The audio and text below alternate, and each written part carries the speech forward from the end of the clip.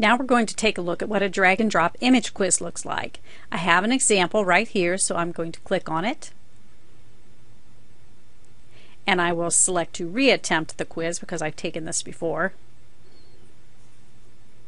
And here are two examples of drag and drop image questions. The first one says drag the images to the correct location in the frog life cycle. And as the student looks down, there are five blank spots and five pictures that the students need to locate onto this cycle.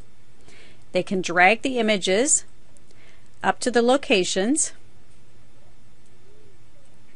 and they can even make changes until they submit. So if they decide these two are out of order, they can swap them out whenever they want. As a teacher, when you set up the quiz, you can allow them to check their answers or not.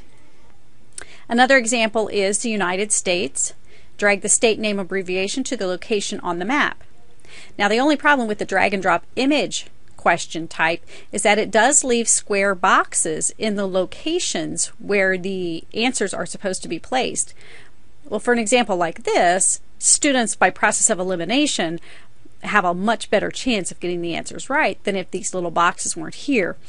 The next question type we'll look at, drag and drop marker, is an option you may want to use if you don't want to see these little boxes.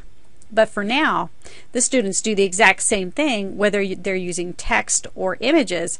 They just drag the information to where it should be located. Now in the next tutorial, we'll go over how we actually create these questions.